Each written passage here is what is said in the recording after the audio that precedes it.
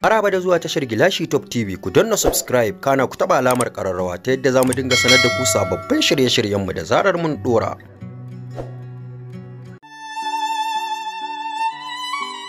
Cristiano Ronaldo ya fada komar 'yan sandar ƙasar Italiya. Shahararren ɗan wasan ƙwallon ƙafa wato Cristiano Ronaldo ɗan asalin ƙasar Portugal ya fada komar 'yan sandar ƙasar Italiya. Don wannan ne karanka na farko da ka ziyarce mu to ka danna mana subscribe kana ka taɓa alamar ƙararrawa ta yadda za mu sanar da kai da zarar mun ɗora sababbin shirye-shiryenmu.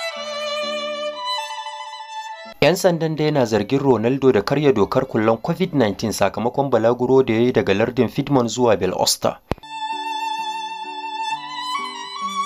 A wannan hoto da muka wallafa za a ga Ronaldo da shi da abokiyar zamansa a wani wajen shaƙatawa a ranar da Georgina Rodriguez take cika shekaru 27 da haihuwa.